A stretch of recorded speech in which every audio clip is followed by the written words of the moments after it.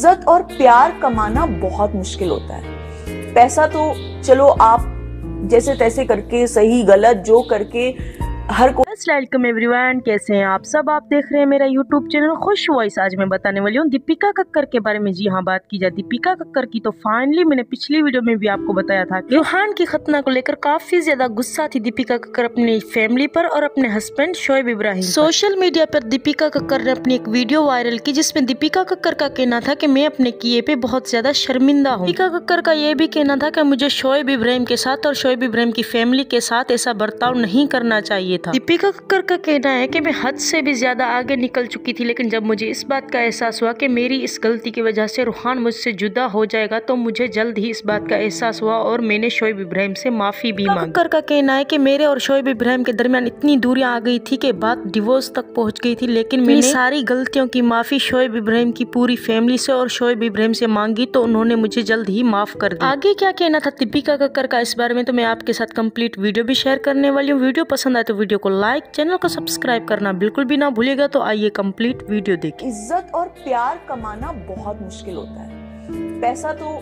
चलो आप जैसे तैसे करके, सही, गलत, जो करके, हर कोई इंसान अपना तरीका निकाल लेता है, जिसकी किस्मत में जितना होता है, उतना मिल जाता है। लेकिन इज़्ज़त और इस तरीके का प्यार मिलना, ये ये एक एक ब्लेसिंग ही लगता